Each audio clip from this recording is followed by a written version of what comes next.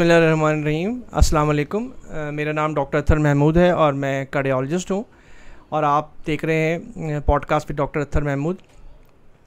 और आज जिस मर्ज़ के बारे में हम डिस्कशन करने जा रहे हैं, उसको कहते हैं हाई ब्लड प्रेशर या बुलंद फिशार खून।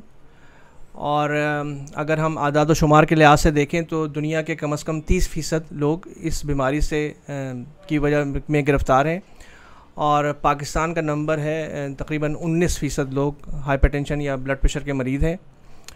और अक्सर आप लोगों को पता होगा आप में से अक्सर लोगों को पता होगा कि हाई ब्लड प्रेशर जो है, वो गुर्दों की बीमारियों, दिल का अटैक, हार्ट फेलियर और इवन मेमोरी लॉस और साथ में स्ट्रोक का बहुत बड़ा पॉजिटिव फैक्टर है, यानी कि इसकी वजह से होते हैं।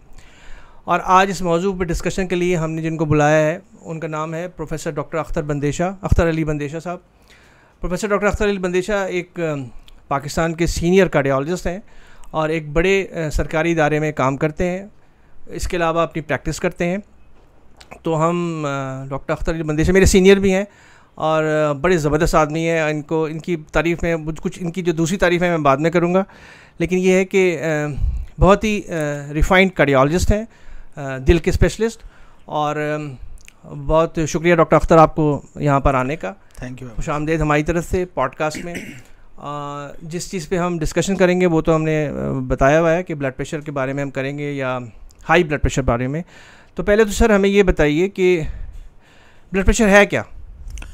बहुत शुक्रिया, डॉक्टर अथर। आपने ये जो पॉडकास्ट शुरू किया है it's a great initiative actually और ये लोगों में मालूम पहुँचाने का बहुत अच्छा तरीका है। और आजकल जो सोशल मीडिया और सारी उसमें तो इसमें जो आपका जो इनिशिएटिव है, इसमें लोगों को बहुत फ़ायदा होएगा और ये चीज़ों को डिस्कस हम जिस तरह से करेंगे, जैसे आज हमने ब्लड प्रेशर को करना है।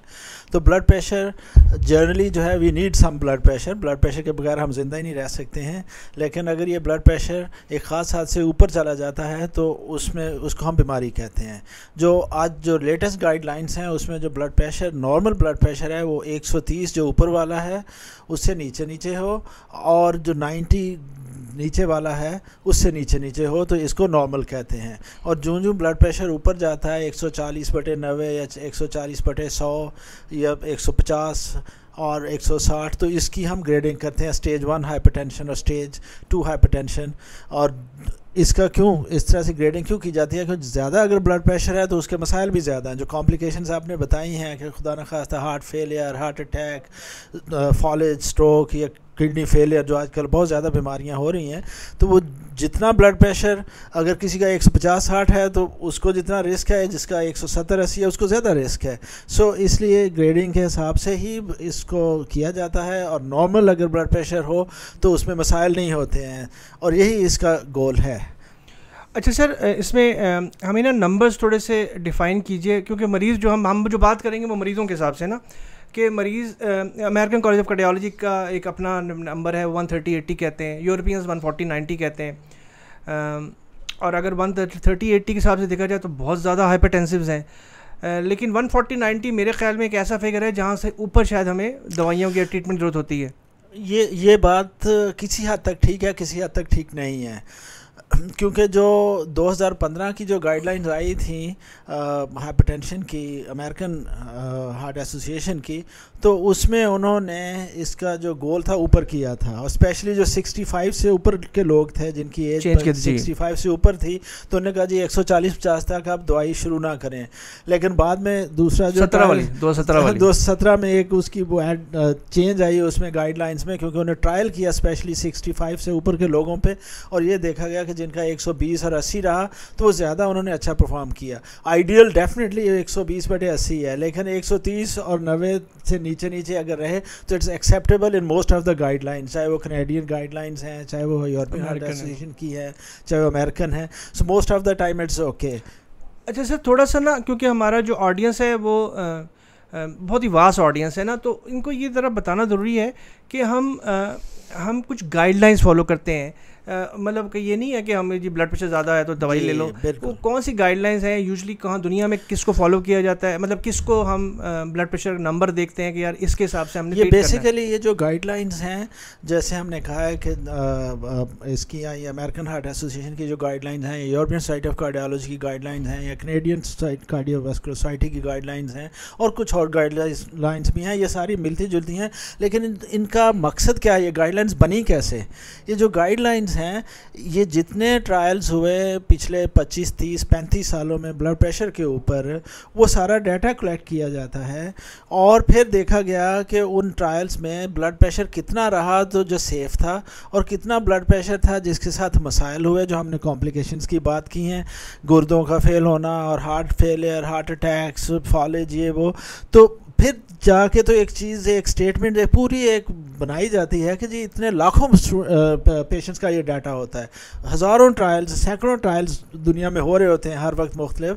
तो अब 1970 से ले कर दो हज़ार सात आठ तक जो ट्रायल्स हुए थे उनका डाटा था 2014 की गाइडलाइंस में और फिर बाद में और एडिड होता क्या सो हम्म। ये जो लाखों मिलियंस एंड मिलियंस पेशेंट्स का डाटा है वो आजकल इसको हम कहते हैं evidence based medicine evidence based medicine के साथ। हाँ जी थोड़ा सा उर्दू में भी बीच में हाँ जी हाँ जी एविडेंस बेस्ड मेडिसिन का मतलब ये है कि मैं डॉक्टर अख्तर बदेशा या डॉक्टर अथर महमूद हम कहते हैं जी ये मैंने मरीज़ों को ये दवाई दी थी तो ये काफ़ी ठीक है। लेकिन अगर वो हमारी कॉन्ट्राडिक्ट करती है वो ये स्टेटमेंट कि अगर लाखों मरीज़ों में जो दिया गया है उसका डिफरेंट है रिज़ल्ट और हमारा डिफरेंट है तो इसका मतलब है कि जो थोड़े मरीज़ों के साथ और लिमिटेड एक्सपीरियंस के साथ जो चीज़ है उसका वज़न उतना नहीं है। सो so, ये एविडेंस बेस्ड मेडिसिन का मतलब ये है कि जो दुनिया में most of the time with some कुछ ना कुछ वेरिएशन है क्योंकि यूरोपियन डिफरेंट है अमेरिकन डिफरेंट है हम डिफरेंट हैं जैपनीज़ डिफरेंट हैं। सो वो वेरिएशंस डेफिनेटली वो काउंट करती हैं जो हमारी अपनी गाइडलाइंस हैं हम्म, हम्म। पाकिस्तान की जो हाइपरटेंशन की हैं। लेकिन वो मोस्टली नाइन्टी परसेंट सारा मिलता जुलता है। चाहे वो ब्लड प्रेशर हो चाहे वो शुगर हो चाहे हार्ट अटैक्स की गाइडलाइंस हैं एनजियोग्राफी की एनजियोप्लास्टी की तो वो मिलती जुलती गाइडलाइंस हैं। तो इसलिए हमें फोकस इस पर करना चाहिए कि जो एक स्पेशलिस्ट जो बात कर रहा है उसके पीछे पूरी दुनिया का एक डाटा बिल्कुल डाटा है और वज़न है उस चीज़ का तो उसको वज़न दें। और ये बेहतर हेल्थ के लिए बहुत ज़रूरी है। दुनिया में अच्छी सोसाइटी अब हाइपरटेंशन अगर बंदे का ब्लड प्रेशर कंट्रोल रहता है तो बहुत अच्छा है। अगर नहीं रहता तो वो उसके मसाइल है। अच्छा सर एक बात ब्लड प्रेशर के हवाले से एक मरीज़ जो अक्सर सवाल करते हैं वो ये है कि ये ब्लड प्रेशर किस किस्म का है? क्योंकि वो लोग कई जगह पढ़ के आते हैं गूगल करके आते हैं कि प्राइमरी हाइपरटेंशन है सेकेंडरी है बुनियादी नौीयत का है सानवी नौीयत का है। थोड़ा सा इसके बारे में बताएँ कि अमूमन ब्लड प्रेशर कौन सा होता है किस एज ब्रैकेट में कौन सा ब्लड प्रेशर ज़्यादा कॉमन है? बहुत अच्छा सवाल है और जो प्राइमरी हाइपरटेंशन या असेंशियल हाइपरटेंशन वो है जिसकी कोई वजह नहीं होती। और 90 परसेंट जो ब्लड प्रेशर है वो बगैर वजह के होता है। जो पाँच से दस परसेंट लोगों में वजह होती है कि खुदा न खास्ता किसी की किडनीज फेल हो गया तो उसका ब्लड प्रेशर बढ़ जाएगा क्योंकि किडनी में ब्लड प्रेशर कंट्रोल हमारा नेचुरल अल्लाह ताला ने रखा हुआ है। और इसी तरह से अगर कोई और कोई बीमारी है लाइक खुदा न खास्ता कोई मुख्तलिफ़ तरह की जो मेडिकल बीमारियाँ हैं जैसे गदूद की बीमारी हाँ, गदूद का कार्टिसोल लेवल बढ़ना और ये वो जो। सारी चीज़ें तो वो होता है लेकिन ये five to ten percent cases में होता है। खुदा न खास्ता किसी की किडनी की जो आर्टरी है, वो तंग है तो वो स्कैंडी हाइपरटेंशन दे देगी। या कोऑक्टेशन ऑफ़ एओर्टा है, वो इस तरह की कुछ कंजेनिटल बीमारियाँ हैं, या कुछ और रिक्वायर्ड है। लेकिन 90 परसेंट केसेज में कोई वजह नहीं, और उसको प्राइमरी असेंशियल हाइपरटेंशन कहते हैं।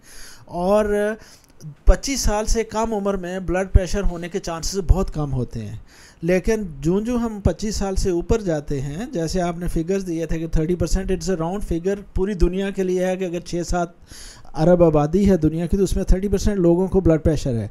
लेकिन 25 से पैंतालीस साल के दरमियान में जो है वो यही थर्टी थर्टी फाइव परसेंट लोगों को है। और 45 परसेंट फोर्टी फाइव ईयर से ऊपर जितने लोग हैं, आधे लोगों को ब्लड प्रेशर है। और अगर कोई बंदा 75 फाइव ईयर्स रहता है तो देर आर 75 परसेंट चांसेस कि उसको ब्लड प्रेशर होएगा। और ये बढ़ता जाता है इसमें परेशान होने की ज़रूरत नहीं है। कंट्रोल करना कंट्रोल करना ज़रूरी है लाइफ और बाकी चीज़ें जो हम डिस्कस करेंगे इन उसके ऊपर। लेकिन ब्लड प्रेशर के ऊपर परेशानी हो जाना चाहिए कि मुझे क्यों हो गया? मेरा तो ब्लड प्रेशर बिल्कुल ठीक होता था और ये होता था। जो जो हमारी उम्र बढ़ती है तो ब्लड प्रेशर बढ़ने के चांसेस बढ़ते जाते हैं। तो इसलिए चेक होएगा ब्लड प्रेशर अगर ज़्यादा है तो फिर उसको ठीक किया जाएगा लेकिन ब्लड प्रेशर से परेशान होने की ज़रूरत नहीं। बिल्कुल ठीक। अच्छा सर इसमें एक और बात बड़ी कॉमन है वो ये है कि हम एक चीज़ को बोलते हैं ऑफ़िस रीडिंग एक होती है होम रीडिंग आजकल जो फोकस किया जा रहा है वो होम रीडिंग्स पे ज़्यादा कि घर का ब्लड प्रेशर और या फिर वो एक आला लगा देते हैं चौबीस घंटे वाला वो उसमें देखा जाए। वो ज़रा अवेलेबिलिटी का उसका होता है इशू और अक्सर मरीज़ हमसे ये पूछते हैं कि ब्लड प्रेशर चेक करने का तरीका क्या है। तो अमूमन मैं तो उनको ये बताता हूँ कि जब आप पहला ब्लड प्रेशर अपना देखते हैं ना पहले तो ये होता है कि दोनों बाजुओं में डिफरेंट मुख्तलिफ़ ब्लड प्रेशर है जिसका ज़्यादा है वो असल ब्लड प्रेशर है। और पहले आप एक बाजू में देखिए और फिर थोड़ी देर बाद फिर से देखें तो सेकंड या एवरेज कर लें। दूसरा ये कि हाथ का लेवल जो है वो आपके हार्ट के बराबर हो और लटक ना रहा हो। और कुछ आधा घंटा पहले कुछ खाया पिया ना हो। बिल्कुल। इस बारे में एक और बात में बात पूछते हैं लोग स्पेशली कि जी ये जो डिवाइसेस होती हैं ठीक है कि नहीं? दुनिया का कंसेंसस ये है कि डिवाइसेस ठीक है बेहतर डिवाइस जो है ना वो आम वाली है रिस्ट वाली या फिंगर वाली इतनी वो नहीं होती। तो ये भी एक बड़ा पर्टिनेंट क्वेश्चन होता है यूजली लोगों का कि हम हम तो मैं तो उनको ये कहता हूँ कि जी आप घर में जो देखते हैं ना वो हमारे लिए ज़्यादा इंपॉर्टेंट है। वो हम वाइट कोटर वगैरह बाद में बात कर लेते हैं लेकिन ये यूजली है। हाँ इस बारे में कुछ बताएँगे आप जी बिल्कुल। ये जनरली जो है ये आपकी बिल्कुल बात ठीक है कि हम ब्लड प्रेशर जो घर में हो या ऑफ़िस में हो क्लिनिक में हो उसमें फ़र्क आ सकते हैं। और अगर हम इसको ज़्यादा स्पेशलिस्ट लेवल पे बात करें जो हम हम्म, यहाँ पे उससे नहीं करना चाहते तो हाँ। इसके टाइप्स हैं आप भी हाँ, जानते हैं मैं भी जानता हूँ कि कुछ डिपर्स होते हैं कुछ नॉन डिपर्स होते हैं कुछ रिवर्स डिपर्स होते हैं। वो वो लोग हैं कि जिनका ऑफ़िस में ब्लड प्रेशर कम होएगा हाँ, वो जो है और रात को ज़्यादा हो जाएगा या जिनका अपना रात को कम होएगा और दिन को ठीक होएगा ज़्यादा हो जाएगा या जिनका कोई नॉर्मल कर्व को वो नहीं करते और उनका ब्लड प्रेशर नॉर्मली ऊपर नीचे इतना जाता ही नहीं है सारा। ये बहुत हाईटेक बातें हैं जिसकी मरीज़ को जो कॉमन लोग हैं उनको ज़रूरत नहीं है। लेकिन ये इस चीज़ की अहमियत उस वक्त वाज होती है कि जब पेशेंट कहता है जी मैं घर में चेक करता हूँ तो ज़्यादा है और जब मैं आपके पास आता हूँ तो मेरा काम होता है। या मैं कहता हूँ कि जी मेरा घर में मरीज़ कहता है जी मेरा ब्लड प्रेशर जो है ना वो ठीक होता है और जब आपके पास आता हूँ तो बढ़ जाता है। तो वो इस चीज़ को कंफर्म करने के लिए डेफिनेटली जो एम्बुलेटरी ब्लड प्रेशर रिकॉर्डिंग है कि 24 घंटे की वो कर लें, या जो है वो अपना जो होम के ऊपर है, उसको भी इम्पोर्टेंस दें, वो सारी चीज़ें उसको कंसिडर करते हैं क्लिनिशन जब उसको एवेलुएट कर रहे होते हैं। जो असल चीज़ ये है कि एक बंदा जिसकी पैंतीस चालीस साल उम्र है सपोज़ और उसकी फैमिली में ब्लड प्रेशर है। वो कहता है, जी, मेरा ब्लड प्रेशर बढ़ता जाता है मेरे साथ में दर्द होता है। और आप देखते हैं कि 140 50 उसका सिस्टोलिक ब्लड प्रेशर है 80 90 उसका नीचे है। तो पहली दफ़ा ही डॉक्टर दवाई नहीं दे देते।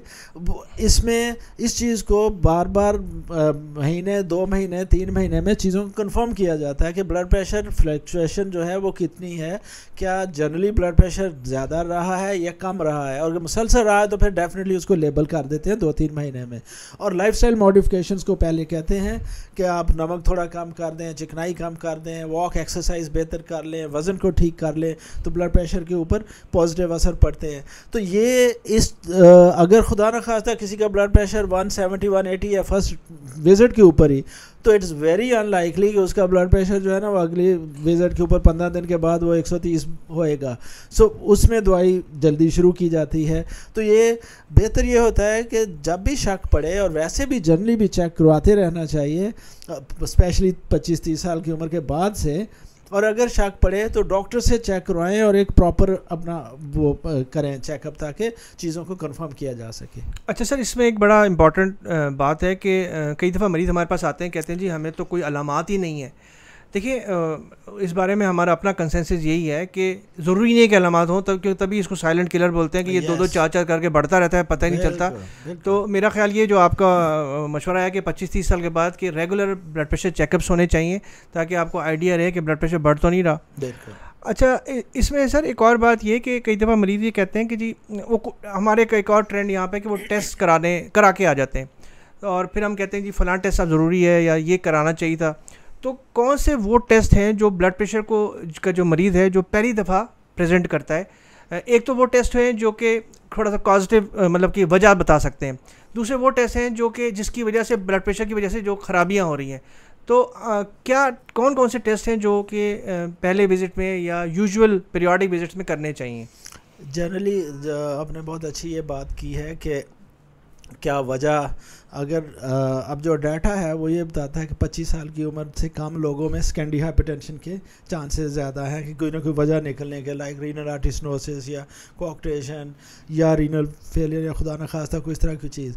लेकिन वही डाटा हमें ये बताता है कि जब हम 25 साल से कम उम्र के लोगों को टेस्ट करते हैं तो उसमें सिर्फ़ चार परसेंट लोगों में वजह मिली है। 96 परसेंट में फिर वो बगैर वजह के ब्लड प्रेशर उनका ज़्यादा था। तो टेस्ट जैसे आपने कहा कि कभी वजह जानने के लिए किया जाता है। अब एक अगर बंदा चालीस साल का आ गया है और उसकी फैमिली में ब्लड प्रेशर थी तो वो उसमें हम स्केंडी हाइपरटेंशन के लिए फियोग्रोमोसाइटोमा नहीं ढूंढेंगे। मोस्ट ऑफ़ द टाइम अगर हिस्ट्री सजेस्ट ना करती हो और एग्जामिनेशन में उस तरह से चीज़ें ना मिलें स्केंडी हाइपरटेंशन की तो हम जनरली उनको प्राइमरी या एसेंशियल हाइपरटेंशन में काउंट करते हैं। और उसके लिए जो है, दो तीन चीज़ें अब हम इसमें एक तो बात की हमने इसकी कॉम्प्लिकेशंस की, कि कॉम्प्लिकेशन खुदा न खास्ता हार्ट अटैक जैसे हो जाना है, या गुर्दे फेल हो जाना है। अब blood pressure is one cause अगर उसका कोलेस्ट्रॉल बढ़ा हुआ है तो दो काजेज हो गई, अगर वो स्मोकर भी है तो तीन हो गई, अगर शुगर भी है तो चार हो गई फैमिली हिस्ट्री है तो पाँच हो गई सो जमा जब होती है ना क्यूमुलेटिव तो chances of having these complication वो बढ़ते जाते हैं। तो इस कॉन्टेक्स में जब हम पेशेंट हमारे पास ब्लड प्रेशर के लिए आता है तो हम देखते हैं कि इसका कोलेस्ट्रॉल कैसा है। इसके किडनी फ़ंक्शन कैसे हैं? हीमोग्लोबिन कैसा है? इसकी शुगर तो नहीं है। तो उस कॉन्टेक्स में फिर कुछ अपना जो है ना स्क्रीनिंग टेस्ट होते हैं, जो सारी हमें एक ओवरऑल पिक्चर मरीज़ की दे देते हैं। और हमें फिर हमारे लिए आसानी हो जाता है कि ठीक है जी, इसका कोलेस्ट्रॉल भी ठीक है, इसका जो है शुगर भी ठीक है, इसके kidney base line kidney function ठीक है, इसको बहुत लंबे अरसे से ब्लड प्रेशर नहीं था जिसने उनको खुदा न खास्ता ख़राब तो नहीं कर दिया हम। उसको दस साल से या पाँच साल क्योंकि साइलेंट किलर जैसे आपने कहा कि साइलेंट किलर है तो मरीज़ को तो नहीं पता होता। वन बैड डे खुदा न खास्ता, वो आता है, उल्टियाँ करता हुआ, और पता चलता जी इसका तो ब्लड प्रेशर था, उसकी वजह से गुर्दे फेल हो गए हैं। तो इसलिए ये जो टेस्ट हैं, इनकी इम्पोर्टेंस डिफरेंट पेशेंट्स में डिफरेंट तरह से है, और वो बेहतर हो, होता है, बजाय इसके कि मरीज़ खुद करवा के आए टेस्ट वो डॉक्टर के पास आए, वो डॉक्टर सजेस्ट करे, जो रेलिवेंट आजकल तो टेस्ट वैसे ही इतने महँगे हो गए हैं और खुदा ना खास था उसका बीस हज़ार रुपया उसने लगा लिया इरेलीवेंट टेस्ट के ऊपर अपनी मर्ज़ी से उसको पता ही नहीं है। तो मज़ीद उसका वो भी ख़र्चा भी होएगा और उन टेस्टों का कोई फ़ायदा भी नहीं होगा अच्छा सर क्योंकि हम दोनों कार्डियोलॉजिस्ट हैं और आपकी बड़ी पर्टनेट बड़ी इंपॉर्टेंट बात आपने बताई कि हम इसको अंग्रेज़ी में रिस्क स्ट्रेटिफिकेशन कहते हैं। जब yes. मरीज़ मेरे पास आता है ना या आपके पास भी आता होगा तो मैं उसको ये कहता हूँ यार मेरा काम ब्लड प्रेशर ठीक करना नहीं है सिर्फ़ ये तो फार्मासिस्ट भी कर सकता है ये तो yes. तो कोई भी कर सकता है। मेरा काम है ये देखना कि आपको आखिर आने वाले सालों में हार्ट का रिस्क कार्डिक रिस्क कितना है। तो जैसे आपकी बात कि हम कोलेस्ट्रॉल देखें उसका डायबिटीज़ को देखें उसकी फैमिली को देखें और उसको रिस्क सर्टिफाई करें कि उसके हिसाब से क्या चांस है आपको। अच्छा सर अब ये हम थोड़ा सा आगे चलते हैं। पहले तो हमने एक जनरल बात की ना कि ये मुख्तलिफ़ अज़ा को मुतासर करता है। तो अब ज़रा स्पेसिफिकली हम चले हम क्योंकि हार्ट को पहले किडनीज़ की बात हो गई ब्रेन की बात हो गई डिमेंशिया की बात हो गई। हार्ट को अगर हम फोकस करें तो कौन कौन सी दिल की बीमारियाँ अनकंट्रोल ब्लड प्रेशर की वजह से हो सकती हैं? दो बड़ी इम्पोर्टेंट डिवीजन्स हैं। एक ये है कि कॉरोनरी आर्टरी डिज़ीज़ हो जाए, कि जो शरियानों में चर्बी का जम जाना और हार्ट अटैक्स देना और उसकी वजह से हार्ट कमज़ोर होना या हार्ट अटैक के साथ जो बाकी कॉम्प्लिकेशंस होती हैं, खुदा न खासा sudden cardiac death heart failure और ये वो। दूसरा ये है कि हार्ट मसल जो हैं वो वीक हो जाएँ जिसको हम कहते हैं जी कार्डियोमायोपैथी डेवलप हो गई है secondary to high blood pressure heart failure के हार्ट हाँ। वो हार्ट फेलियर में प्रेजेंट करेंगे हाँ जी, हाँ जी. लेकिन उनका जो हार्ट है बिकॉज़ वो बड़े अरसे तक जो है उसने हाई प्रेशर को बर्दाश्त किया होता है तो आहिस्ता आहिस्ता मसल वीक होना शुरू हो जाते हैं ये दो दो ब्रॉड कैटेगरीज हैं लेकिन इन दोनों से ही बचने के लिए इलाज वही है कि जी ब्लड प्रेशर को कंट्रोल रखा जाए और जो बाकी रिस्क फैक्टर्स हैं, उनको भी देखा जाए। अच्छा सर, हम ब्लड प्रेशर के ट्रीटमेंट पे अगर हम बात करें कॉम्प्लिकेशंस तो ऑब्वियसली जैसे मैंने बताया कि ज़ाहिर साहब से डिस्कस हुआ है, गुर्दों की कॉम्प्लिकेशन हमारे वाजिद साहब से डिस्कस हुआ डायबिटीज़ की कॉम्प्लिकेशन हार्ट की, और इस ब्लड प्रेशर की कॉम्प्लिकेशन तो अगर हम मरीज़ को जब हम, जैसे आपने शुरू में कहा कि हम उसको बताते हैं कि डाइट और एक्सरसाइज में तो थोड़ा सा इसको जो है ना एलेबरेट थोड़ा बड़ा बताइए कि एक तो लाइफस्टाइल मॉडिफिकेशन है इंपॉर्टेंट और दूसरा है मैनेजमेंट ट्रीटमेंट जो है। तो लाइफस्टाइल के बारे में थोड़ा सा। लाइफस्टाइल में जो है वो तीन बड़ी बातें हैं। एक है कि रेगुलर वॉक या एक्सरसाइज करना और उसमें जो रिकमेंडेशंस हैं आजकल वो वो ये हैं कि एटलीस्ट 150 मिनट्स पर वीक या 30 40 50 minutes most days of the week with moderate intensity moderate intensity का मतलब ये है कि हम बाज़ार से घूम फिर के आ जाएँ तो ये ठीक है कि ये सेडेंट्री लाइफस्टाइल नहीं है लेकिन ये एक्सरसाइज या वॉक उस तरह से नहीं है जिससे हम उतना दूसरे नंबर पे है इसका अपना वज़न ठीक रखना। वज़न को कम करने से ब्लड प्रेशर के ऊपर पॉजिटिव असर पड़ता है। तीसरे नंबर पे खाने में नमक और चिकनाई को कम करने से ब्लड प्रेशर के ऊपर पॉजिटिव असर पड़ता है। अब इसको अगर हम नंबर्स में डिवाइड करें तो ये देखा गया है जो बता रही हैं जो गाइडलाइंस हमें कि जो खाने में नमक कम करने से और चिकनाई कम करने से कोई आठ दस डिग्री ऊपर वाले ब्लड प्रेशर के ऊपर असर पड़ता है और कोई तीन, चार, पाँच डिग्री नीचे वाले पे पड़ता है।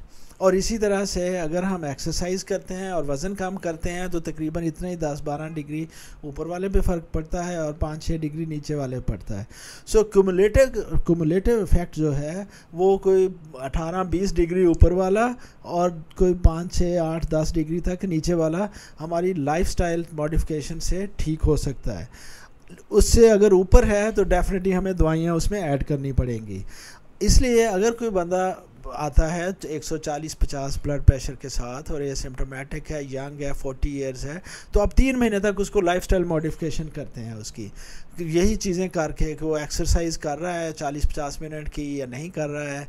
और क्या उसने वज़न कम किया है कि नहीं किया है? खाने में नमक चिकनाई को कम किया है कि नहीं किया है? अगर इन सारी चीज़ों को करके तीन महीने बाद भी उसका ब्लड प्रेशर ज़्यादा है तो फिर उसको दवाई शुरू कर देंगे। लेकिन अगर किसी का ब्लड प्रेशर है 170 180 तो हमें पता है कि लाइफस्टाइल मॉडिफिकेशन विल हेल्प वो आपकी क्वालिटी को बेहतर करेगी ब्लड प्रेशर कंट्रोल में भी और बाकी चीज़ों को भी। कोलेस्ट्रॉल शुगर हर चीज़ को आपकी फ़िज़िकल इंड्योरेंस हर चीज़ को बेहतर करेगी लेकिन वो आपका 180 वाला ब्लड प्रेशर उसको 120 पे नहीं ला सकती।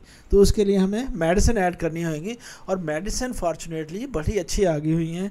उनके साइड इफ़ेक्ट्स नहीं हैं रादर उनके कुछ और एडेड बेनिफिट्स हैं। किस ना सिर्फ़ ब्लड प्रेशर अच्छा सर ये एडिड बेनिफिट जो है ना मतलब ये ये बड़ा इंपॉर्टेंट क्वेश्चन है कि कई दफ़ा हम मरीज़ को दवाई लिखते हैं ना जब हाँ। तो वो ये कहता है कि आ, इसका क्या फ़ायदा है मुझे दवाई का? यूजली अब जो दवाइयाँ हैं उनको दूसरी उसकी जो को और को मोबिलिटीज उसके और मसाइल होते हैं उसके लिए भी वो हेल्प करती हैं। तो ये ज़रा समझाइए लोगों को कि हम जब दवाई शुरू करते हैं तो उसमें क्या चीज़ को हम प्रायोरिटी करते हैं कि यार किसको, कौन सी दवाई देनी है? जैसे फॉर एग्ज़ाम्पल एक डायबिटिक है तो उसके ख़ास ग्रुप की जैसे ए सेमीटर की दवाई दी जाती है रिसेप्टर ब्लॉकर की। ये थोड़ा सा बताइए। जी, बिल्कुल। ये बड़ा इंपॉर्टेंट क्वेश्चन है आपका और ये पेशेंट्स हमेशा कहते हैं, जी, मैं ये दवाई खा रहा हूँ तो मुझे कोई साइड इफ़ेक्ट तो नहीं हो जाएँगे, इसके नुकसान तो नहीं हो जाएगा। दूसरा ये कह कहते हैं कि जी, इसका फ़ायदा क्या है? मैं दवाई तो मेरा तो ब्लड प्रेशर ठीक है तो आप मुझे दवाइयाँ दो दिए जा रहे हैं। एक से जब कंट्रोल हो सकता है। तो वो जो साइड इफ़ेक्ट्स हैं वो आजकल जो दवाइयाँ तीन चार जो ग्रुप्स जो हमारे जो फ़र्स्ट लाइन ड्रग्स हैं जैसे कैल्शियम चैनल ब्रोकर्स हैं या S inhibitors A R Bs वगैरह हैं उनके साइड इफ़ेक्ट्स कोई ख़ास साइड इफ़ेक्ट नहीं है बल्कि वो उनके बेनिफिशियल इफ़ेक्ट ज़्यादा हैं ब्लड प्रेशर फ़ायदेमंद ज़्यादा है। फ़ायदेमंद ज़्यादा हैं और कोई साइड इफ़ेक्ट नहीं है। इस तरह से जि, जिससे उनसे वो किया जा सके। जो साइड इफ़ेक्ट्स हैं वो बिनाइन है कि सपोज़ कैल्शियम चैनल ब्लॉक के साथ थोड़ी बहुत जो सो जाती है तो उसको हम दूसरी दवाई कंबाइन करके आजकल ये एक गाइडलाइंस आपको भी पता है कि एक ही दवाई की मैक्सिमम डोज की बजाय दो दवाइयों को इकट्ठा करके मॉडरेट मॉडरेट डोज के ऊपर देने से ब्लड प्रेशर कंट्रोल भी बेहतर हुआ और साइड इफ़ेक्ट्स भी नहीं हुए और जो एक दूसरे के इफ़ेक्ट्स से उनको उनने सब्सटेंशली फ़ायदा दिया। मतलब टीचिंग आजकल ये है कि आप बजाय अगर ब्लड प्रेशर कंट्रोल नहीं होता तो एक दवाई को बढ़ाने के बजाय आप कॉम्बिनेशन दें बल्कि आजकल हाई प्रेशर्स के लिहाज कॉम्बिनेशन ट्रीटमेंट को ही एडवोकेट बताया yes, जाता है कि वो करें। बिल्कुल ये बहुत अहम है और इसने बड़े रिज़ल्ट दिए हैं पिछले आठ दस सालों में पंद्रह सालों में। अच्छा सर अगर हम ग्रुप्स की बात करें ना तो हमारा पुराना पेशेंट जो है ना जो हमारे सीनियर्स देखते रहे उस ज़माने में ड्रग्स भी कम होती थी। तो वो अगर हम ग्रुप की स्पेसिफिकली बात करें तो बीटा ब्लॉकर्स अभी तो रेलीगेट हो चुका है फोर्थ लाइन ड्रग हो चुका है स्पेसिफिकली ब्लड प्रेशर के हवाले से। अनटिल किसी को हार्ट अटैक ना हुआ हो हार्ट फेलियर ना हुआ हो। तो आप इनको बताना चाहेंगे कि हमें कौन सा कॉम्बिनेशन यूजली स्टार्ट करना चाहिए? जैसे अभी आपने बताया तो जो स्टैंडर्ड गाइडलाइन है, जो जो स्टैंडर्ड गाइडलाइंस हैं, उसमें तीन दवाइयाँ जो हैं, वो फ़र्स्ट लाइन ड्रग्स हैं। अगर कोई और, कोई कंपेलिंग इंडिकेशन नहीं है। कंपेलिंग इंडिकेशन क्या है कि जैसे आपने बताया कि डायबिटीज़ है तो उसमें ACE inhibitors A R B वो पहले आ जाएँगे इस एमलोडिपिन ग्रुप से या कैल्शियम चैनल ब्लॉकर से, कि अगर हमने एक दवाई देनी है तो हम उसको ACE inhibitors A R B पे शुरू करना चाहेंगे, और ए आर बी पे भी अगर हम उनको एस इनहिबिटर्स नहीं दे सकते हैं तो और जो थायजाइड डायरेटिक्स हैं, अगर किसी का यूरिक एसिड वगैरह ज़्यादा नहीं होता है और तो उसको भी हम फ़र्स्ट लाइन पे वो करते हैं। और इसी तरह से कैल्शियम चैनल ब्लॉकर्स को, जो बीटा ब्लॉकर्स आपने बात की है कि ये सेकंड लाइन या थर्ड लाइन पे चली गई हैं इट्स एब्सोल्युटली सो और ये 2006 से, टोनल के ऊपर ही आया था और फिर बाकी बीटा ब्लॉकर्स के ऊपर, लेकिन जो लेटेस्ट जो डाटा है ऑन बीटा ब्लॉकर जो न्यूअर बीटा ब्लॉकर्स हैं वगैरह जो हैं तो वो क्योंकि वो प्रिकर्सर्स हैं नाइट्रेट्स वगैरह के भी इंडक्शन के ये वो तो उनके साइड इफ़ेक्ट्स जो थे वो वाली चीज़ें वो उस तरह से नहीं हुई हैं। और जैसे किसी के एक यंग ख़ातून आती हैं और उनकी हार्ट बीट है नाइन्टी और हम उसका ब्लड प्रेशर है उनका वन फिफ्टी बाई हंड्रेड तो उसको अगर हम 90 पे अगर हम उसको एस इनहिबिटर्स ए आर भी देते हैं जो वेजर डायलेटर्स हैं या कैल्शियम चैनल ब्लॉकर्स उसका रिफ्लेक्स टैककार्डिया फर्दर होएगा। वो क्या जी मेरी तो धड़कन बहुत तेज थोड़ा सा इसको उर्दू में हम बहुत अंग्रेज़ी टेक्निकल वर्ड शुरू करती है। अच्छा। एस जैसे मैं नाजरीन के लिए कि एस इमिटर या रिसेप्टर ब्लॉकर्स या जो कैल्शियम चैनल ब्लॉकर्स हैं ये बेसिकली शरियानों को खोल देती हैं। वेजो डायलेटर हाँ। मतलब ये है। और इसकी वजह से हार्ट रेट बढ़ जाता है। तो जैसे आपने बताया नेबिबुलॉल उसको दोनों साइड पे काम करेगी रेट भी कंट्रोल करेगी और ब्लड प्रेशर भी कंट्रोल करिए यस जो नई बीटा ब्लॉकर्स इसमें स्पेशली नेबिबुलॉल है वो it is better than previous previous atenolol के ऊपर स्पेशली था कि हाँ। जी क्योंकि वो वो है हाइड्रोफिलिक मेडिसिन है सो तो सेल्स की लाइपोफिलिक लाइपोफिलिक ड्रग्स का इफ़ेक्ट ज़्यादा होएगा और इस तरह की और भी बहुत सारा सेंट्रल एयोटिक प्रेशर को कितना चेंज करती है ये टेक्निकल चीज़ें जो इन लोगों के हाँ, लिए वो नहीं है।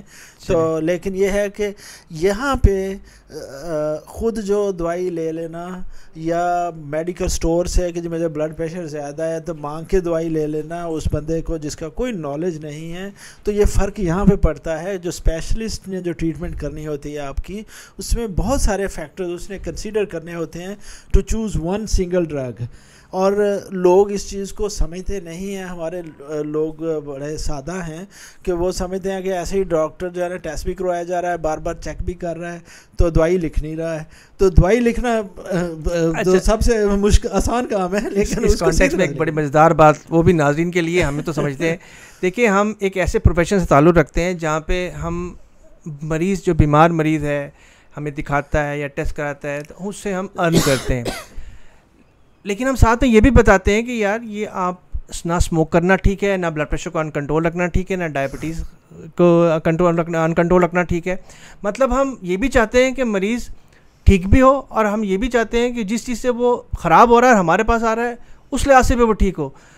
अगर हम दूसरे प्रोफेशंस को देखें तो जहाँ पे कोई बताया नहीं जाता कि इस फ़लाँ चीज़ को खाने से क्या होगा या फ़लाँ सिगरेट पीने से क्या होगा, उसके मुकाबले में ये जो लोग कहते हैं ना, आप लोगों को दुआएँ बड़ी मिलती हैं, ये वाकई बात सही है, क्योंकि हम लोगों को ये बात कहते हैं कि हम नहीं चाहते कि हम हम, कि हम मरीज़, मैं अपनी बात और डॉक्टर अख्तर की बात करूँ, हम मरीज़ नहीं देखना चाहते, हम चाहते हैं लोग ठीक हों। हम क्यों चाहेंगे जी मरीज़ देखना? तो इसलिए लाइफस्टाइल तर्ज ज़िंदगी और दवाइयों का प्रॉपर होना control blood pressure control diabetes control cholesterol होना वो आप लोगों के फ़ायदे में है।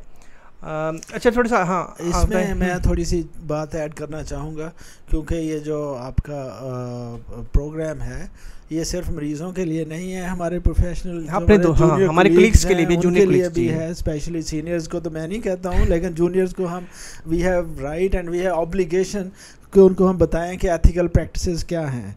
और जो हमारा जो प्रोफेशन है ये खिदमत का है। ये इंसानियत की खिदमत का है। बिज़नेस हॉस्पिटल करते हैं फार्मेसीज़ करती हैं लेबॉर्ट्रीज़ करती हैं डॉक्टर और नर्सेज ये खिदमत करते हैं। जो पैसा है, इसमें वो बाई प्रोडक्ट है। आपको कितना पैसा चाहिए, उतना आपको अल्लाह ताला दे देता है। इसमें अब बहुत ज़्यादा पैसे का लालची नहीं होना चाहिए हमें। और कोई मरीज़ जो है, वो इस वजह से नहीं आप उसको इनकार कर सकते। Ethically and I will say even legally कि मेरे इसके पास वो नहीं है फ़ीस के पैसे नहीं है तो मैं उसको देखूँगा नहीं। इखलाकी तौर पे और कानूनी तौर पे कानूनी तौर पे दोनों पे। मरीज़ को देखना, ये हमारा फ़र्ज़ है। मरीज़ कोई उसको तकलीफ़ हो जाए, हमारे ना देखने से तो इससे बड़ी कोई मुश्किल बात ही नहीं है, मेरा ख्याल है। तो हमें एथिकल प्रैक्टिस करनी चाहिए और लोगों को बताना चाहिए। जो जहाँ तक है कि मरीज़ कितने देखने हैं, पच्चीस करोड़ में आप कितने देख सकते हैं? और जो हम आजकल प्रिवेंशन के ऊपर बात कर रहे हैं, पाकिस्तान कार्डिक सोसाइटी भी और अमेरिकन हार्ट एसोसिएशन बाकी भी सारी, हम अब अमेरिकन हार्ट एसोसिएशन ने जो 2010 में प्रोग्राम शुरू किया था कि 10 सालों में उन्होंने कहा, जी, हम इस प्रोग्राम के ऊपर लाइफ सिंपल सेवन के ऊपर काम करके तो हम 20 परसेंट हार्ट अटैक्स कम करेंगे अमेरिका में और वो सक्सेसफुल हुए और वो क्या थी? कि ब्लड प्रेशर को ठीक रखना शुगर को ठीक रखना ब्लड प्रेशर को ठीक कोलेस्ट्रॉल को ठीक रखना, वज़न को ठीक रखना एक्सरसाइज करना स्मोकिंग कर, को ठीक करना और अपना ये जो मोटापा है उसको वो करना। ये सात चीज़ और ये इतना सक्सेसफुल था कि 2022 में उन्होंने अब इसको लाइफ असेंशियल एड कर दिया कि आठवीं चीज़ उसमें स्लीप कर दी कि जी 25 साल से ज़्यादा उम्र के जितने लोग हैं तो छः से आठ घंटे की नींद लें उससे भी हार्ट अटैक्स और हार्ट बीमारियाँ कम हम्म, होती हैं। तो ये सारे जो चीज़ें हैं प्रिवेंशन आप कितने लोगों को स्टैंड डालेंगे? आप कितने लोगों को बाईपास करेंगे? बीमारियाँ अगर बढ़ती जाएँगी। सो हमें एक हेल्दी सोसाइटी के ऊपर काम करना है। लोगों को बताना है कि कैसे बीमारियों से बचा जा सकता है। और ये सिर्फ़ इंडिविजुअल का नहीं है, ये गवर्नमेंट को भी हम बता रहे हैं। हम बात करते हैं जी, आप एक्सरसाइज करें। आप एक जो बहुत गुंजान शहर के अंदर जो मोहल्ले में लोग रहते हैं, वो जिन बेचारों के पास फुटपाथ नहीं है, खेलने के ग्राउंड्स नहीं है तो वहाँ पर गवर्नमेंट आती है। कि वो उनके लिए एक्सरसाइज का माहौल पैदा करें।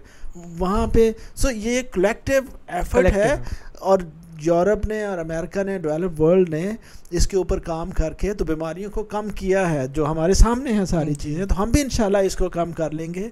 और इसमें एक बात जो मैं इसके ऊपर वो करना चाहता हूँ वो है कि हेल्थ जो है इसके ऊपर पैसा खर्च होता है। यही डिज़ीज़ बर्डन डिज़ीज़ बर्डन को ख़त्म करने के लिए कम करने के लिए पैसा खर्च होता है। तो मैं पिछले दिनों एक मैं टॉक दे रहा था इसी उसके ऊपर और मैंने जब डेटा कलेक्ट किया तो जो डेवलप वर्ल्ड है 94 परसेंट जो हार्ट अटैक्स हैं वो डेवलपिंग और अंडर डेवलप वर्ल्ड में होते हैं। पाँच परसेंट जो है वो डेवलप वर्ल्ड में हो रहे हैं। और जो 95 परसेंट जो बजट है वो वहाँ पे खर्च होता है। जो एवरेज बजट था यूरोप में 97 percent countries are spending 5 percent of the GDP और एक मरीज़ के ऊपर सताईस सौ डॉलर खर्च होते हैं और हमारे यहाँ पे सत्तर डॉलर अठहत्तर डॉलर खर्च होते हैं हमारे रीजन में। सिर्फ़ पाकिस्तान की नहीं मैं बात कर रहा हूँ। हम्म। उसमें साउथ एशिया सारा ही आ जाता है इंडिया भी आ जाता है बांग्लादेश भी आ जाता है। सो पैसे खर्च करेंगे तो बीमारी कम होएगी। लेकिन ये जो जिस तरह से हम कहते हैं ना हम के एजुकेशन के ऊपर आप खर्च करेंगे ना तो इसके फ़ायदे मैनी फोल्ड हैं। इसी तरह हम कहते हैं कि प्रिवेंशन के ऊपर आप करेंगे तो मैनी फोल्ड है। बीमारी को होने से पहले रोकें या जो हो तो उसको कंट्रोल करें। बिल्कुल बिल्कुल ताकि एक हेल्दी एक बंदा पचास साल की उम्र में उसको हार्ट अटैक हो जाता है उस वक्त उसने अपने बच्चों के लिए कमाना है उसने मुल्क के लिए मेहनत करनी है वो बेचारा हैंडीकैप हो गया वो सोसाइटी के ऊपर बर्डन हो गया। तो अगर उसको हेल्दी रखेंगे तो ना सिर्फ़ वो उसकी फैमिली फ्लोरिश करेगी बल्कि पाकिस्तान को भी फ़ायदा होएगा उसका। अच्छा सर, बहुत ज़बरदस्त आपने ये बताई बातें। मुझे अच्छा एक बात एक और बात है जी, अक्सर आपको कभी भी फ़ोन आते होंगे, मुझे भी आते हैं जी, वो जी ब्लड प्रेशर बढ़ गया है घर में, इतना हो गया है। तो ऐसे मरीज़ हमारे पास भी आते हैं और इसमें ना हम एक अंग्रेज़ी में वर्ड इस्तेमाल करते हैं एमरजेंसी और अर्जेंसी का ना। कि कब है इमरजेंसी ब्लड प्रेशर को मैनेज करना और कब है अर्जेंसी मतलब इमरजेंसी तो ये है कि जैसे किसी को हार्ट अटैक हो रहा है रीनल रीनल शटडाउन हो गया स्ट्रोक हो रहा है हाँ, तो उसको थोड़ा सा तेज़ी से करना है और जो अर्जेंसी है जिसमें कोई एंड ऑर्गन डैमेज नहीं मिल रहा तो उसको स्लोली करना है। तो उसके बारे में थोड़ा सा बताएँगे कि अस्पताल में आ, एक, एक, एक वैसे में बता हाँ जी। इसमें दो एक बात तो यह है कि जो टेलीफोन पे ब्लड प्रेशर को ठीक करना ये बिल्कुल रिकमेंडेड नहीं है। रिकमेंडेड नहीं है एडवाइजेबल भी नहीं है क्योंकि हमें तो ये नहीं पता होता कि उसने चेक किया ब्लड प्रेशर तो ठीक तरह से चेक हुआ और ठीक है कि नहीं है। अब सपोज़ वो कहते हैं जी मेरा एक सौ अस्सी हो गया है। और वो है ट्रूली जो है वो 130 है। आप उसको टेलीफोन पर एक दवाई लिख देते हैं कि जी भेज देते हैं कि जी ये आप कर लें। वो दवाई खाएगा तो उसका ब्लड प्रेशर 90 60 उसके लिए ख़तरनाक हो जाएगा। ना मरीज़ों को ऐसा करना चाहिए और ना डॉक्टरों को टेलीफोन के ऊपर करना चाहिए। जहाँ तक यह है कि एमरजेंसी को, किसको ठीक करना है? जो ब्लड प्रेशर आप किसी ने घर में देखा, उसने कहा, जी, मेरा ब्लड प्रेशर एक सौ अस्सी हो गया, वो पता नहीं क्या हो गया। ये कोई एमरजेंसी नहीं है। इट्स अनकंट्रोल और एक्सलेटेड हाइपरटेंशन इसको दिनों और हफ्तों में कंट्रोल किया जाता है। जो एमरजेंसी जैसे आपने कहा है एमरजेंसी जो ब्लड प्रेशर है वो है जिसके साथ एंड ऑर्गन डैमेज हो रहा है कि वो कहते हैं जी ब्लड प्रेशर एक सौ अस्सी हो गया है और मेरे सीने में दर्द हो रहा है या मेरा सांस घुट रहा है और मैं लेट नहीं पा रहा हूँ मतलब या वो हार्ट फेलियर में जा रहा है या उसको एमआई हो रहा है या वो कहता है जी मेरा हार्ट अटैक हो रहा है बिल्कुल। या वो यह कहता है कि जी मेरा तो पेशाब ही बंद हुआ हुआ है दो दिन से ब्लड प्रेशर भी मेरा इतना है। तो ये वो चीज़ें हैं जिसमें या एनकेफलोपैथी के बेहोश हो रहा है फालिज हो रहा है। हाँ जी फालिज हो रहा है या बेहोश हो रहा है उनको हॉस्पिटल आना चाहिए और इसमें आप बी एन कार्डियोलॉजिस्ट आप तो इस चीज़ को समझते हैं, मैं भी समझता हूँ, लेकिन ये हम ले पीपल के लिए बात कर रहे हैं कि ब्लड प्रेशर को उसमें भी आराम से ठीक करना होता है। हम 30 मिलीमीटर से नीचे नहीं ला सकते एक घंटे में, और 15 मिलीमीटर mm से नीचे वाला जो है, उसको नहीं एक घंटे में कम कर सकते, क्योंकि जो फ्लक्चुएशंस हैं ब्लड प्रेशर ऊपर वाला भी ख़तरनाक है, लेकिन एक बहुत नीचे एकदम से उसको ले आना उससे भी ज़्यादा ख़तरनाक है, क्योंकि जो हमारे मैकनिज़म्स हैं ऑटो रेगुलेशन के, जो ब्रेन में हैं, जो किडनीज़ में हैं, वो सारे फेल हो जाते हैं अगर बहुत एकदम से फ्लक्चुएशन हों। तो ये यहाँ पे होता है कि उनको हॉस्पिटल में दाखिल करके तो एक स्टेप वाइज फ़ैशन में उनका ब्लड प्रेशर आराम से ठीक किया जाता है। लेकिन अगर किसी को कोई मसला नहीं हो रहा है चेक करने से ब्लड प्रेशर ज़्यादा है तो उसमें कोई टेंशन वाली बात नहीं होती, आराम से उसको करना है। अच्छा सर, इसमें एक और बात होती है रेजिस्टेंट हाइपरटेंशन यानी कि कितने मरीज़ हमारे पास आते हैं, वो दो से, दो दवाइयों पे कंट्रोल नहीं हो पाते और यहाँ पे तीन दवाइयाँ भी। तो हम ये कब लेबल करते हैं कि ये ब्लड प्रेशर रेजिस्टेंट हो गया है? ये बिल्कुल, ये बड़ा अच्छा सवाल है। और ये इंडिविजुअल रिस्पांस वैसे ये होता है। कुछ लोग एक दवाई से कंट्रोल हो जाते हैं कोई दो से हो जाते हैं कोई तीन से कोई चार से और कोई चार से भी नहीं होते। तो ये महीनों की बात होती है जैसे मैंने पहले भी कहा है कि दो तीन महीने हो गए हैं दवाइयाँ हम बढ़ाते गए बढ़ाते गए हैं तो उसमें वो कंट्रोल नहीं हो रहा। एक तो ये होता है कि इसमें दवाइयाँ ऐड करनी होती है दूसरा इसमें सेकेंडरी कॉजेज़ के लिए इनमें ढूंढना ज़रूरी हो जाता है कि पचास साल पचपन साल का बंदा है तो उसके किडनी की जो आर्टरीज़ हैं कहीं उसमें इसमें तो नहीं मसला आ गया आप दवाइयाँ दिए जा रहे हैं और वहाँ से, क्योंकि कंट्रोल किडनी से होता है तो किडनी की आठी में मसला आ गया तो उसको वो ब्लड प्रेशर नहीं नीचे आ रहा। दूसरी बात यह होती है कि गाइडलाइंस ये कहती हैं कि अगर किसी का ब्लड प्रेशर सपोज़ 160 170 है डिस्पाइट सारी सारी दवाइयाँ हमने दे दी हैं। तो फिर फ़ायदा क्या दवाइयाँ देने का? ऐसा नहीं है। गाइडलाइंस ये कहती हैं कि दवाइयों का फिर भी फ़ायदा तो इसलिए दवाइयाँ जारी रखें। और ये रेजिस्टेंट हाइपरटेंशन की जो एक सब क्लास पेशेंट्स की है सारे में तो नहीं होता बहुत कम लोग होते हैं फ्यू परसेंट और उसमें आपको पता रीनल डीनर्वेशन का भी रोल आया है हाँ वो थोड़ा सा इसमें बता दीजिए एक तो हम जैसे लाइफ स्टाइल मॉडिफिकेशन हो गई एक ड्रग ट्रीटमेंट हो गया दवाइयों के साथ एक और बात जो लोगों को नहीं पता होती वो नॉन ड्रग ट्रीटमेंट क्या है जैसे रीनल डीनर्वेशन की बात। बिल्कुल ये कैरोटेड वाला भी आजकल बात हो रही है ना कैरोटेड क्या हुआ इस हवाले से दोनों इस्तेमाल हो रहे हैं हाँ जी। बिल्कुल क्योंकि ये कंट्रोल किडनीज़ में है क्रोटेज में है तो इसलिए इन इन जगहों को अगर आ, किया जाए नर्व्स जो है उनको डी नर्व किया जाए ताकि जो मैकेनिज़्म नर्व्स के थ्रू जा रहे हैं ब्लड प्रेशर के ऊपर करने के लिए उनको आइसोलेट कर दिया जाए तो ब्लड प्रेशर के ऊपर जो है पॉजिटिव असर होएगा। वो अब देखें जब रीनल डिनोवेशन आज से 10-15 साल 12 साल पहले जब इसके ऊपर ज़्यादा जोश जज्बा था तो ये देखा गया कि उतना फ़ायदा नहीं हुआ जितना एक्सपेक्ट कर रहे थे। बिल्कुल। लेकिन कुछ फ़ायदा हुआ है। सो हम्म। so, ये चीज़ें जो है ये डॉक्टर स्पेशलिस्ट का ही काम होता है कि कब फैसला करना है कि जी दवाइयाँ जो काम नहीं कर रही हैं और अब हम कोई और प्रोसीजर करें या ना करें।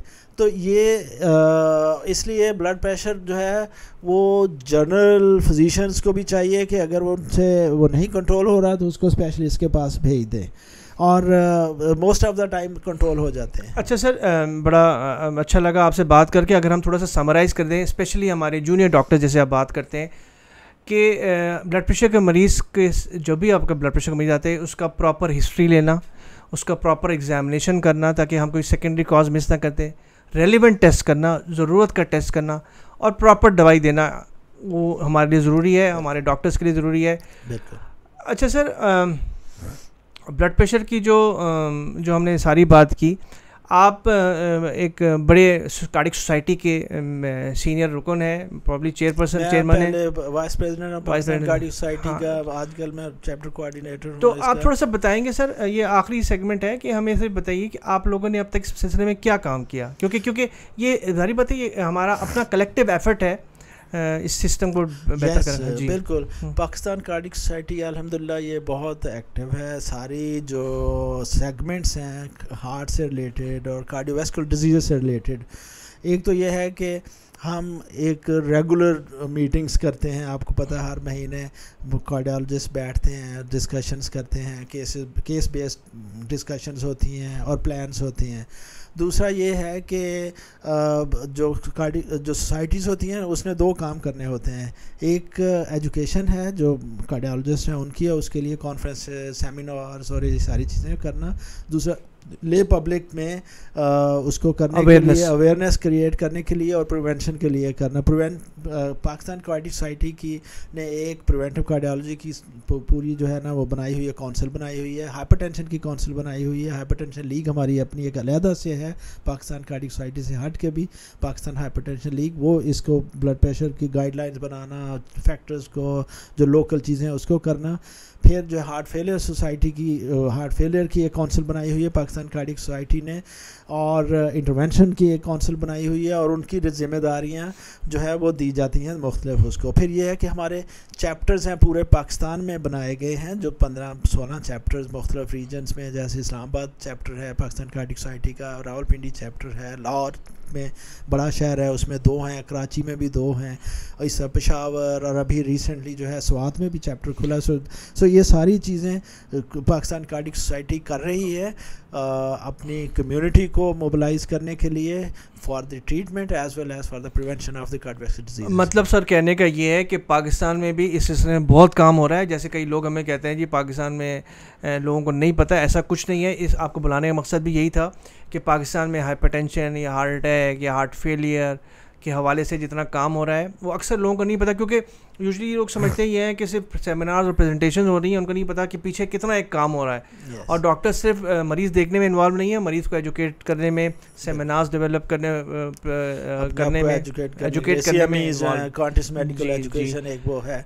जी। और ये बड़ा पाकिस्तान अलहमदिल्ला बाकी जिस तरह बाकी दूसरे मुल्कों की दुनिया है उसी तरह से पाकिस्तान इस माशाल्लाह मेडिकल के फ़ील्ड में किसी से पीछे नहीं है। ना प्रोफेशनल्स के ना हमारे जो एस और गाइडलाइंस हैं मैनेजमेंट की ट्रीटमेंट्स की उसमें हॉस्पिटल्स में भी इवन जो प्रोसीजर्स ऑपरेशन ये वो हैं we are at par with the developed world हमारे सिर्फ़ ये है कि उतने रिसोर्स नहीं है तो हम हमें अगर दस अस्पताल चाहिए तो हमारे पास एक होता है।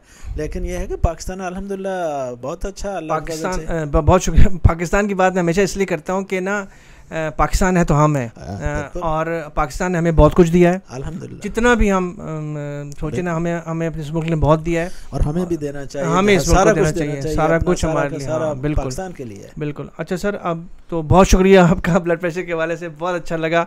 सर मेरे सीनियर हैं और सर की सबसे मज़ेदार बात और एक ट्रेट है वो ये ट्रेट ये है कि सर जो है ना सब कुछ मुँह पे कह देते हैं। और सर की ये एक ऐसी ट्रेट है जिसमें सर को कई दफ़ा नुकसान भी हुआ है, लेकिन सर ने कभी ना बात दिल में रखी नहीं है। ये क्योंकि मैं इनका जूनियर हूँ और इनसे बड़ा ताल्लुक़ रहा है पिछले बीस सालों से। बीस बाईस सालों ज़्यादा पच्चीस साल। थैंक यू वेरी मच इसके लेकिन मेरा ख्याल है कि जो बंदे की पर्सनैलिटी में सबसे स्ट्रॉन्ग जो ट्रेट होना चाहिए वो भी सच बोलना होना हम्म, चाहिए। हम अपने बच्चों को भी ये कहते हैं कि अगर एक बंदा है उसके बारे में आगे पता नहीं झूठ बोलता है तो हम्म। वो तो ख़त्म हो गया ना। हम्म। उसका तो करेक्टर ही नहीं रहा ना। सो सच बोलने की हिम्मत अब आप सल्लल्लाहु अलैहि वसल्लम ने हमें दी है कि सच बोलें और सच में बहुत बरकत है। अल्लाह ताला आपका वो करता है और हमें भी सच बोलने की तोफ़ीक दे। हम इतना सच शायद नहीं बोलते हैं लेकिन बोलना चाहिए। अच्छा सर आखिरी सेगमेंट जिस पे सवाल किए बगैर हम हमारा पॉडकास्ट होता ही नहीं वो ये है कि हम क्रिकेट पे ज़रूर बात करते हैं। हाँ। अच्छा क्रिकेट कल होने जा रहा है शो डाउन Yes. आज मैं सीएनएन पढ़ रहा था तो उसमें कह रहे थे कि पॉइंट फाइव बिलियन लोग देखेंगे ये मैच और it is five times more than super bowl super bowl हाँ जी। तो एक तो ये मुझे बताएँ कि आपके एक तो फाइनलिस्ट पाकिस्तान सेमीफाइनलिस्ट पाकिस्तान है तीन फाइनलिस्ट सेमी सेमीफाइनलिस्ट और एक बताना है आपने और मुझे कल ये बताना है कल जो है ना पाकिस्तान को रन को रोकने के लिए क्योंकि बॉलिंग तो वो तो विकेट्स तो बिल्कुल बैटिंग विकेट्स बनी हुई हैं हाँ। और तो आप कोई क्योंकि आप क्रिकेट फॉलो करते हैं तो हाँ, आपका क्या। ख्याल दो चीज़ें एक तो पाकिस्तानी सारे के सारे क्रिकेट को फॉलो कर रहे हैं। और क्रिकेट आप देखें इतनी इंटरनेशनल हो गई जैसे आपने खुद कहा कि सुपर बॉल से भी इतने फाइव टाइम्स फाइव टाइम्स और नेक्स्ट वर्ल्ड कप जो है अमेरिका में है, जहाँ. क्रिकेट खेली नहीं जाती थी। तो बेसबॉल की अच्छी फॉर्म है बेसिकली अच्छी बिल्कुल। तो वो आप देखें कि हमारी तो हमें तो खुशी पाकिस्तान के जीतने पे है। और पाकिस्तान की टीम अच्छी है इंडिविजुअल प्लेयर्स भी अच्छे नहीं हैं। पहले हमें आपने सेमीफाइनलिस्ट बताने पाकिस्तान के अलावा तीन। ये तीन क्वेश्चन इंपॉर्टेंट अब, साउथ अफ्रीका एक। इंडिया हम्म, और New Zealand I will go for that England नहीं। इंग्लैंड में उसको ऑस्ट्रेलिया तो तो की परफॉर्मेंस नहीं है उनके पिछले साल दो साल से जो प्लेयर्स हैं वो भी उस तरह से नहीं है। तो India is a very strong contender because of home crowd and all that लेकिन मैं जो पाकिस्तानी पिचेस की वजह से जो है ना वो आजकल पहले बैटिंग करना हर टीम पसंद करती है, लेकिन मैंने ये देखा है कि पाकिस्तान को अगर बैटिंग बाद में करनी पड़े तो शायद ये ज़्यादा बेहतर रहते हैं। अभी वाली परफॉर्मेंस से देखा है आपने। तो नहीं कोई आप कल के लिए कोई कोई देंगे टिप पाकिस्तानी टीम को? कोई मसला, हम सारे क्रिकेट एक्सपर्ट्स हैं। कि क्या करना चाहिए? बॉलिंग के साथ बैटिंग तो चले इंशाल्लाह, लेकिन बॉलिंग में कोई चेंज हो सकता है कि मैं, एक एक मेरा सजेशन है, वो शायद हो सकता है, ये पॉसिबिलिटी है कि हारिस को हम ओपन करा सकते हैं शाहीन के साथ?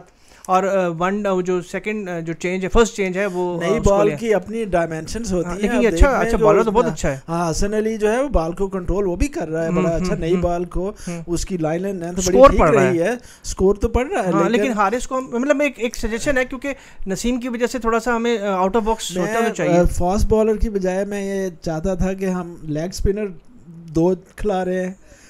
तो कोई ऑफ़ स्पिनर या कुछ तरह से हाँ। पाकिस्तान के पास बहुत सारी ऑप्शन लेकिन बड़ा स्पेशलिस्ट जॉब है यार उनका हाँ। एक वो इतने कर रहे हैं तो हाँ। पाकिस्तान से ज़्यादा तो उन पाकिस्तान जो टीम है और जो सिलेक्शन कमेटी और सारा हमसे ज़्यादा बेहतर जानते हैं तो- लेकिन हमारी अपनी ओपिनियन है बिल्कुल हम कर सकते हैं बहुत शुक्रिया आखिरी बात बस आखिरी बात यह है कि हम ना फ़लस्तीन के लिए ना लमिया फ़लस्तीनियों की आसानी करें गज़ा वालों की आसानी करें बिल्कुल ये बहुत ही आजकल ये सबसे बड़ा टॉपिक है तो बस इसके लिए हम मेरा आ, हमारा दिल है उनके साथ और हमारे अपने हैं। हमारी जैसे आप सल्लल्लाहु अलैहि वसल्लम ने कहा कि एक हिस्सा उसको तकलीफ़ पहुँची है दूसरा उसको महसूस करता है और उनके साथ दुनिया में बहुत जुल्म हुआ है और ये अनफॉर्चुनेटली वो यहूदी कह रहे हैं जो जिन्होंने खुद जो है होलोकास्ट वगैरह और सारी चीज़ों को किया हुआ है और वो रिपीटेड वो आप इन होलोकॉस्ट का रेफरेंस दे के खुश होते हैं कि जी हम ये हमारा होलोकॉस्ट है और ये फ़लस्तीनियों का होलोकॉस्ट है।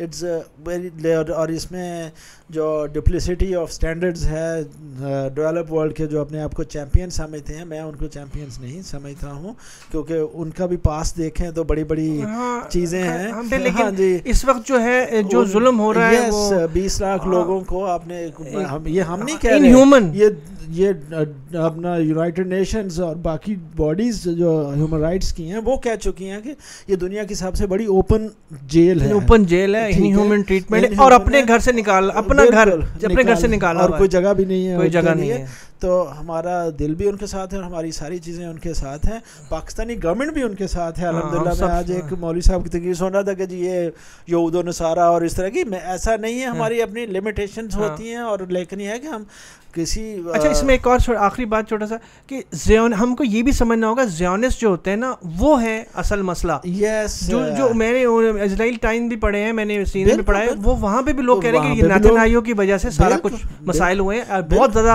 एक्सट्रीम राइट पॉलिसीज़ की वजह से uh, तो सबको जीने का हक होना चाहिए अपनी ज़मीन के हाँ, ऊपर नहीं at नहीं। यहूदियों में लोग हाँ। उनके खिलाफ बात कर बात खुद कर रहे अपने हैं, लोग बात कर रहे हैं, बात कर रहे हैं। पॉलिसीज़ की हम्म, वजह से है। सारा तो लेकिन मैं इस पे ये भी एक मेरा बिलीफ है कि वो बहुत बहादुर है फ़लस्तनी और उन्होंने बड़ा ये चीज़ साबित कर दी है दुनिया को कि इनको ख़त्म नहीं किया जा सकता। हाँ बिल्कुल। और ये इंशाल्लाह ख़त्म भी नहीं होंगे इनको अल्लाह ताला अपना फतह भी देगा और अपना मुल्क भी देगा इंशाल्लाह। इंशाल्लाह आमीन आमीन। बहुत शुक्रिया बहुत शुक्रिया doctor Akhtar doctor Akhtar Bandesha professor doctor Akhtar Bandesha हमें ज्वाइन करने का और ये ब्लड प्रेशर के हवाले से ब्लड प्रेशर की को को की अवेयरनेस के हवाले से पाकिस्तान में किए जाने वाले काम के हवाले से जूनियर डॉक्टर्स की को एडवाइस के हवाले से और इसकी कॉम्प्लिकेशंस और इसको दवाइयों के बारे में जो उन्होंने बताया ये उम्मीद है कि लोगों को समझ आया होगा। हमने जैसे पहले हर पॉडकास्ट में बात करते हैं कि हम इसको सीरीज़ में चलाएँगे क्योंकि डॉक्टर अख्तर तो सीनियर इंटरवेंशनल कार्डियोलॉजिस्ट हैं और हमारा प्लान होगा कि इस टाइम इनको फिर हम इंटरवेंशन के लिए के लिए भी मदु करें। बहुत शुक्रिया डॉक्टर अख्तर साहब। थैंक यू बहुत शुक्रिया। बहुत शुक्रिया।